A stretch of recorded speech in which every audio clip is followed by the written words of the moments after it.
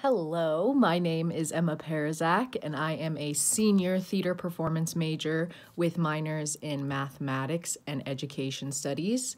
I am president of Nebraska Masquers, and I helped put together the Carson Co op for Social Justice with Nadia Williams, president of Carson DE&I, and Mitchell Guinan, president of Cinema 16. We wanted to give students an opportunity in the Hixson-Lied College of Fine, Fine and Performing Arts a chance to create art with one another, all under the umbrella of social justice. We got four groups together, so I think we did it. We did it all throughout this semester. So sit back, relax, and enjoy an evening of student made projects showcasing what social justice means to us. Yes! Hi, I'm Beck Dameron. I'm a senior theater performance major from Bentonville, Arkansas. Um, I learned how to make a unique video on how to get people to vote and encourage them to vote with sock puppets. It was really fun and um, it was cool meeting with like a different group of people and creating this little skit. I hope you enjoy.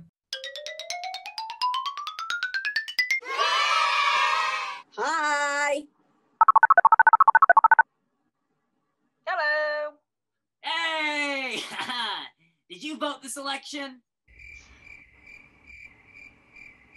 You didn't? That's stupid. Do you not know the power of the vote? You don't? Well, Let's start at the beginning. In 1492, Columbus sailed the. no. Most people in America couldn't vote for a long time. 1870 brought the 15th Amendment and the right to vote for every landowning man, regardless of color. Women didn't get the right to vote until 1920, but that wasn't a guarantee of the accessibility of the vote. Voter suppression was and continues to be a major barrier in the making sure everyone has their voices heard at the polls. There were systems put in place to suppress voting and intimidate voters, some of which still stand today. Examples of this would be grandfather clauses, poll taxes, literacy tests, as well as things like voter ID requirements and location of polling sites. This just goes to show the significance and importance of using your voice. If it wasn't valuable, there would be no reason to try and suppress it. For example, in Georgia, a record number of newly registered voters, most of them black, voted for Joe Biden to become the first Democratic nominee backed by the state since 1992. In 2016, there were 245.5 million Americans who were old enough to vote. However, in November 2016, there were only 157.6 million registered to vote, and only 137.5 million people said to have actually voted that year. Mm-mm-mm. Your voice matters. Voting matters. Voting alone will not fix things, but voting in general is a strong start. If you didn't vote this year, make sure to be prepped and ready come the next election, whether that be locally or nationally. You can register to vote at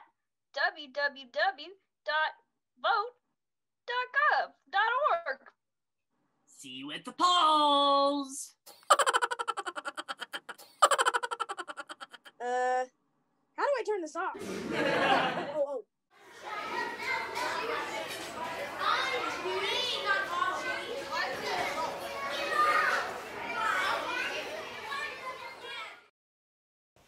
Hi, I'm Callie Ma. I'm a first year theater performance major from Mitchell, South Dakota.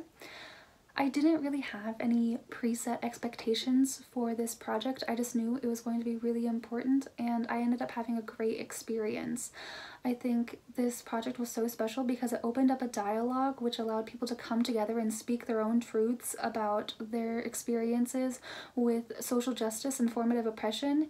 And we were able to discover some shared experiences and then notice within those some different perspectives. So we were able to take that and then just create a piece of art that allows people to see each other more clearly and hopefully that'll cultivate a society with a little more compassion because we're all here together sharing a piece of the same timeline. Hi, I'm Sydney Cook and I'm a freshman and I'm from Topeka, Kansas. And the reason why I did this co-op is because I wanted to use the platform that I have and the talents that I bring to the table to talk about social injustice.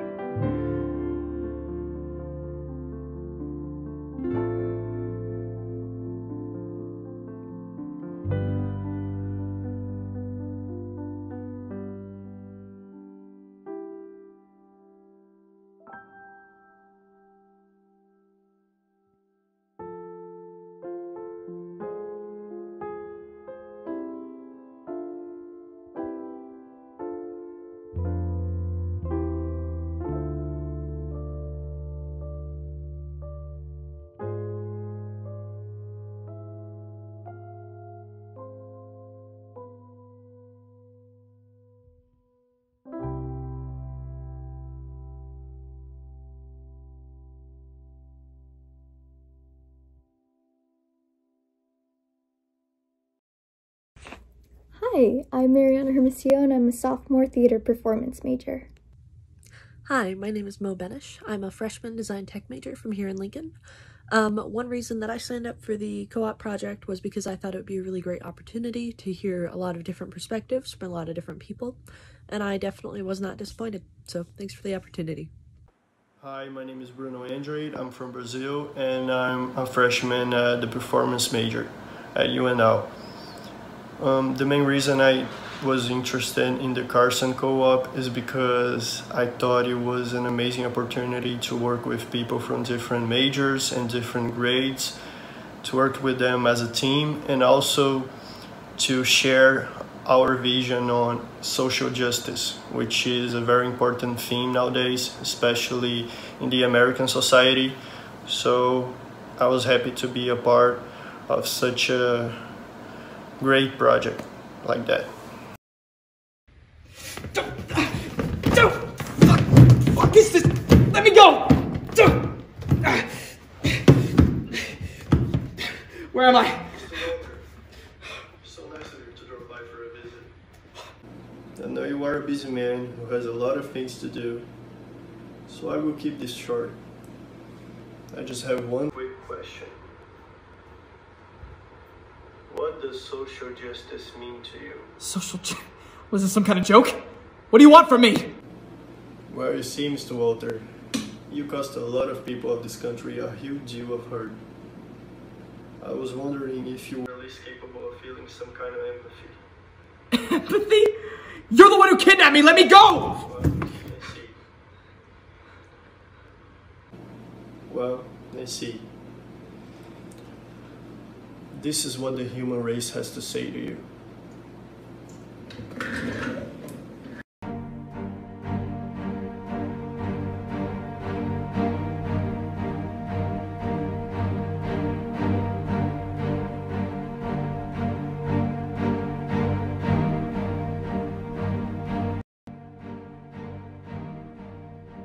the Rosa Parks moment, the time that people stood up and said,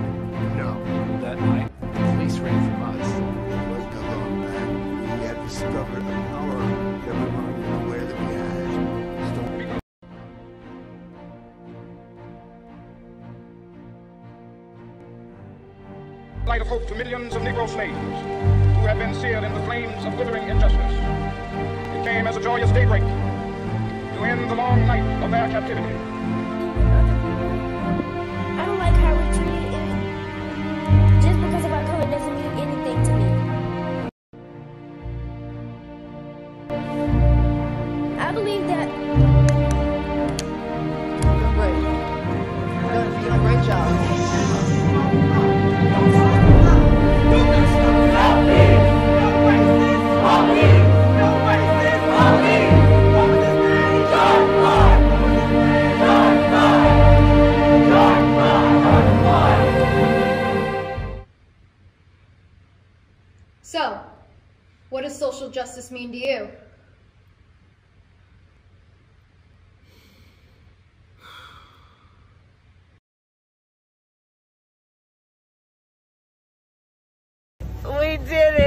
Did it, Joe. You're to be the next president of the United States. The people of this nation have spoken. They've delivered us a clear victory, a convincing victory, a victory for we the people. We've won with the most votes ever cast on a presidential ticket in the history of the nation.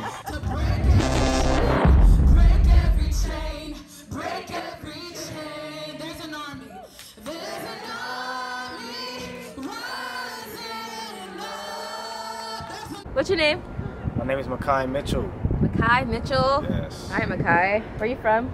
From Omaha, Nebraska. Born and raised. Omaha. Okay. Um, how old are you? 18 years old. Ooh. Just turned 18. Just turned when? Uh, June. June. Okay. Okay. So, not only was this your first presidential election, but it was your first election, like, overall. Yeah. Okay. Um, so tell me about life in Omaha growing up. What was it like? Uh, life in Omaha for me wasn't too bad. Um, I lived down north a little bit, from like five to seven ish. Uh, moved out the neighborhood. Then I've been in the house I'm in over in the northwest area ever since then. Okay. Um, life hasn't been too bad. Um, not until I got older. That's when I started to experience life as we all know life to be. Um, okay, so Makai, what do you think is like has been the most influential event to happen in Omaha that has like had an impact on you? I think the work I did this summer um, following the George Floyd pro- uh, protest has probably had the biggest impact on me in this election. Um, following his, his death, um, you know about James Scurlock, the situation that happened downtown. Um, I actually went to a city council meeting and I was the first person to speak. And I got—I guess I said what everybody wanted to hear, and everybody, I got a lot of people contacting me and wanted to post what I said. Uh, I posted a video of what I said and it kind of took off a little bit. When I watched the video of the cop kneeling on Floyd's neck for nine minutes, I thought of how that could have been me or any of my brothers. Our entire mission this summer was to let people know that their voice matters. That's been that's been my thing since the beginning, and uh, just to see everybody come out and vote means a lot, and especially when Omaha and Lincoln um, happened to be the only blue part of Nebraska, and everybody was like, "Nah, my vote doesn't matter." Yada yada yada. It's not. They don't. It doesn't. It doesn't matter. I'm like, no. Trust me, it does. My vote does matter. Where are you from? I am from Omaha, Nebraska. Omaha, Nebraska. Where'd you go to high school? Um, I went to Mercy High School. Oh, what was that like?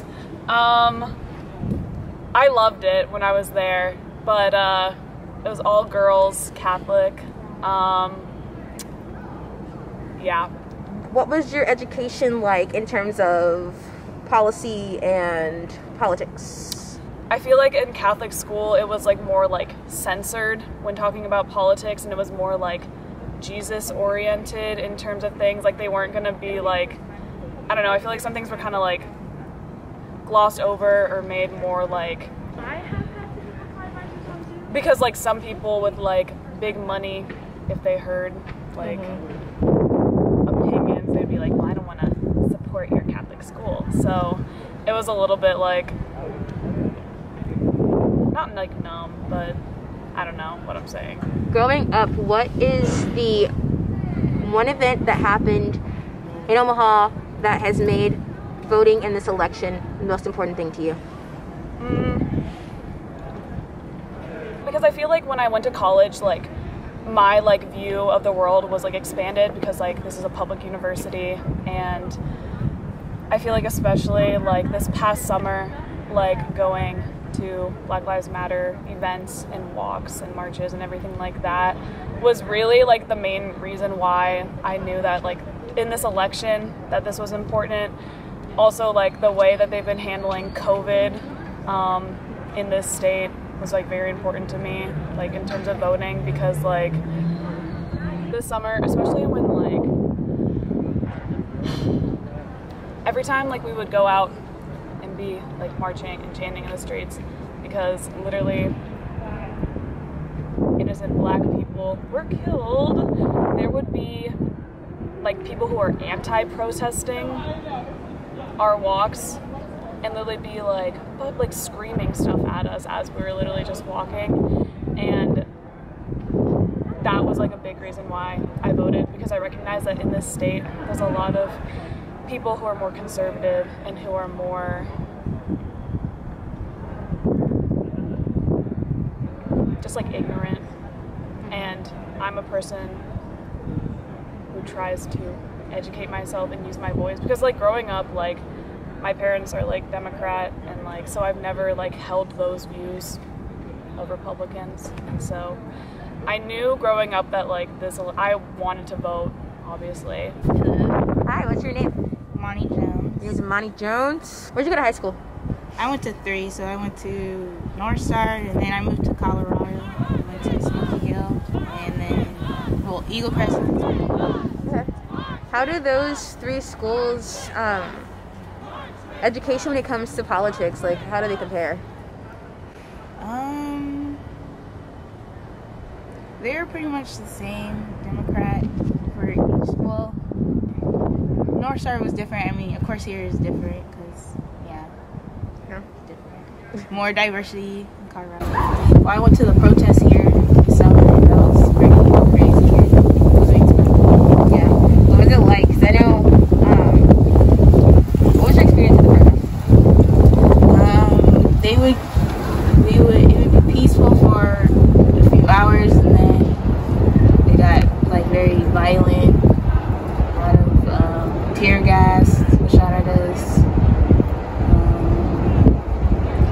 brought the National Guard here, and they just started chasing people. So that was really crazy. What were your what was your reaction to the 2020 election results? I was happy about that. Happy about that? I was excited. Yeah. My name is Annie. Um, I'm a junior at UNL studying emerging media arts. I currently live in Lincoln for school, uh, but I'm originally from Omaha. I grew up feeling like Omaha was really boring and awful, but it was mostly just because I was in West Omaha.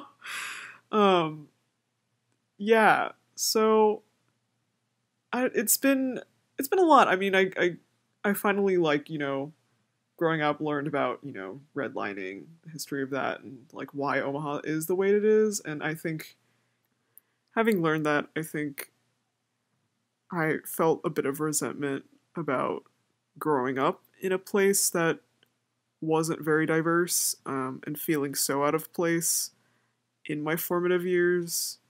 This was the first presidential election i voted in. It has been incredible to see my vote make a difference especially in an election as tense as this one. It's been really really amazing to see it like actually make a difference. Um, but basically i mean though i feel like voting is not entirely the solution to fixing our country's problems. I'm glad it still did something. It was it's kind of cool but yeah let's go nebraska too. We did it. We did it joe. You're gonna be the next president of the united states. A convincing victory. A victory for we the people.